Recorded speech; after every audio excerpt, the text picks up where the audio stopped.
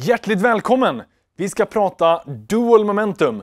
En relativt enkel aktiestrategi, men ack så kraftfull. Och du eh, är spänd på att veta vad det är, så vi hoppar rakt in i det. Så Dual Momentum, den eh, kommer från en bok skriven av författaren Gary Antonacci. Ganska häftigt efternamn. Men i vilket fall så bygger den här på momentum, vilket man hör i namnet. Någonting som stiger, stiger förhoppningsvis mer. Så du vill rida på trenden ja, och så vidare. Det finns många synonymer. Men dual kommer från att den då använder två olika typer av momentum. Så strategin är egentligen uppbyggd av relativ och absolut momentum. Relativ momentum innebär egentligen att man mäter två olika instrument mot varandra. Och den då som är den bästa, ja, den är den relativt bästa av dem båda. Så säg att du har två aktier och båda kanske har gått bra, men den som har gått bäst, det är den då som du vill äga i det här fallet. Absolut momentum innebär att man också kollar att de har gått positivt. Du kan ha två instrument som båda har gått dåligt, men en har gått mindre dåligt. Ja, då skulle ju den vara relativt sett bättre, men den har fortfarande gått dåligt. Så att, att det är en absolut momentum innebär att vi har någonting som också ligger på positivt. Det är i alla fall grundtanken. Och just den här strategin, dual momentum, består av tre olika instrument som du hela tiden jämför mot varandra. Och den är ursprungligen då framtagen på amerikanska marknaden och mätte då amerikanska börsen i förhållande till ett globalt index. Och då tog man ett globalt index som inte bestod av amerikanska börsen. För om man kollar ett globalt index så är det oftast ja, till 50 eller 60 procent amerikanska börsen. Så att egentligen regel nummer ett, det är att jämföra ett landspecifikt index mot ett globalt index. Om vi vill applicera det på svenska börsen, då innebär det egentligen att ja, jämför OMXS30 mot typ MSCI World, alltså ett globalindex. Den av de båda indexen som har gått bäst, det är den nu som då ligger relativt sett bäst till.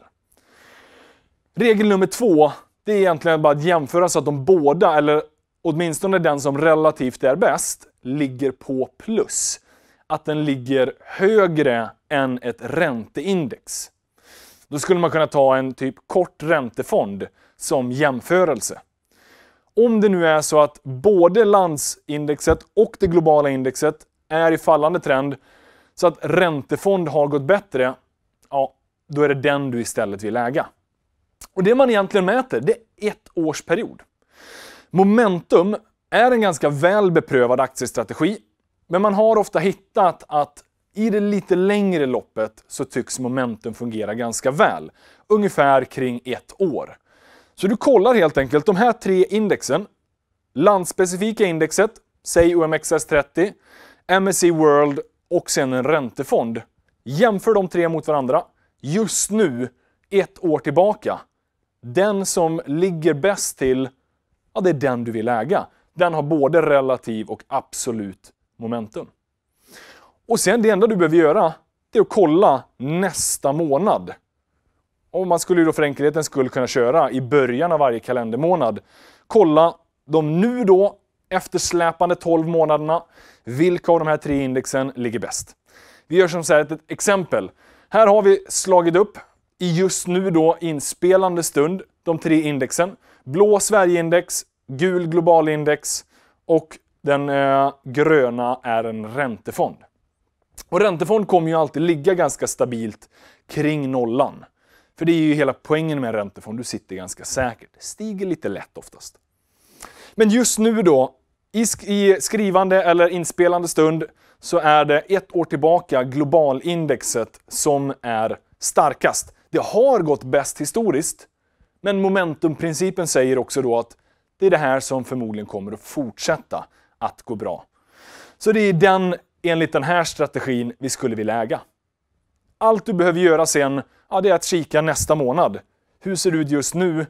Och äga den egentligen som då ligger bäst till. Det är dual momentum i sin enkelhet. Det du kan använda, principerna bakom det här, är ju just momentum. Om någonting stiger så tycks det fortsätta att stiga. Det är liksom hela poängen bakom. Och antingen om man då vill ha strategin i sin eh, enkelhet eller om man nu vill mixtra lite på egen hand. Men det jag kan uppskatta med den här strategin är ju just att den är ja, nästan lite briljant i sin enkelhet. Den tar de här tre ganska olika indexen och egentligen den som har gått bäst kommer förmodligen fortsätta gå bäst. Det är den man vill äga. Det är dual momentum i ett nötskal. Hoppas det har gett dig en liten inblick i eh, i alla fall momentumstrategi och mer specifikt då den här dual momentum. Sen är det ju upp till dig hur mycket du vill ta med och applicera i din egna aktiehandel.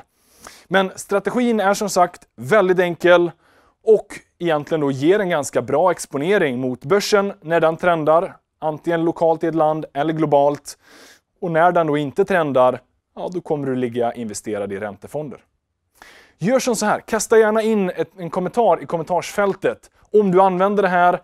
Har du några tankar, idéer eller ifrågasätter du kanske hela momentumstrategin i sig?